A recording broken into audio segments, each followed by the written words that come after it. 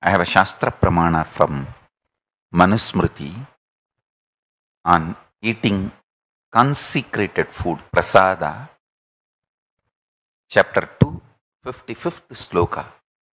Pujitam yasanam nityam palamurjam cha yachati abhuchitam tu tatbhuktam ubayam nasayeditam,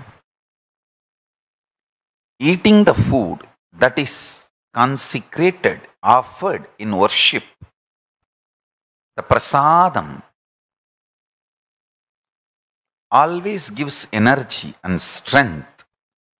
Eating non consecrated food destroys both energy and strength. This is one of my vision for the future. Having thousands of, or I should say, even millions of the restaurant chain which provides consecrated food, prasadam food, without demanding any certain amount or cost. We do it as a service to Paramashiva. You can voluntarily donate, you can donate one rupee or one coin or half dollar or one dollar or one euro or you can say no i don't have money today i don't want to i'm I don't have anything, so I don't want to give. You can say, I have money, but I don't have a mood to give. That is also okay. At least, see, we already have de facto spiritual embassies in four digit, surely in four digit.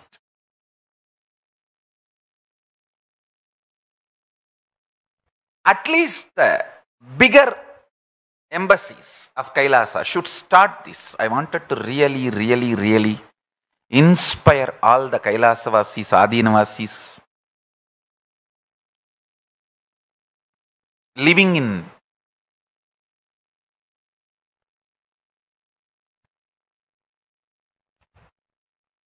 different countries In some countries, we have a de facto spiritual embassy status. In some countries, the embassy status. In some, so wherever, in some countries we are a temple. In some countries we are just a monastery. Various status as per the legal standards of each country.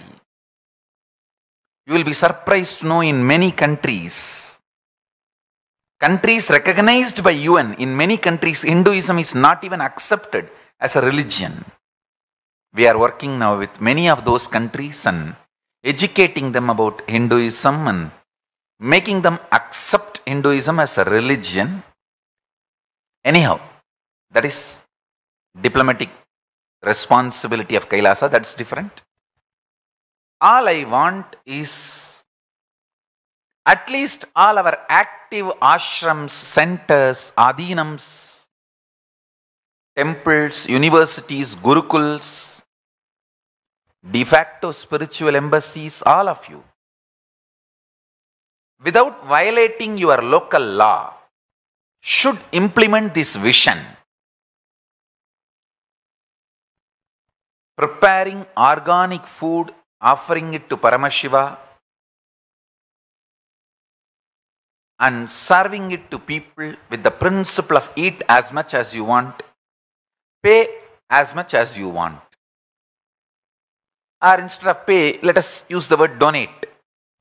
Eat as much as you want, donate as much as you want. This kind of chain of restaurants should be important service activity of Kailasa. See, as on now, we are providing food for our Adinavasis, Sannyasis, Gurukul Balasants in temples, the visitors. We should expand it into the restaurant level.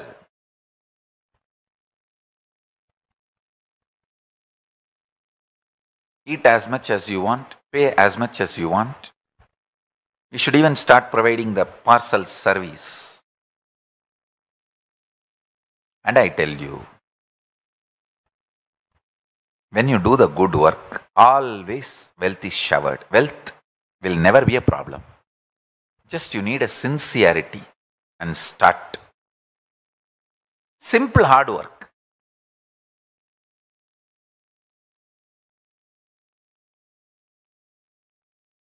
See the whole history of Kailasa. In Kannada, there's a beautiful proverb Kayakave Kailasa. Simple hard work is Kailasa. Kayakave Kailasa.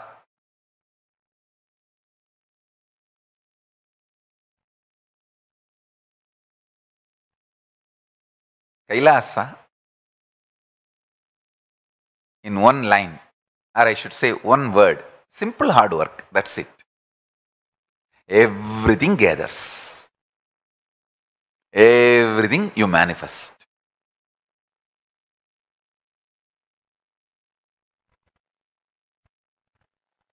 We should start this. This simple, simple hard work.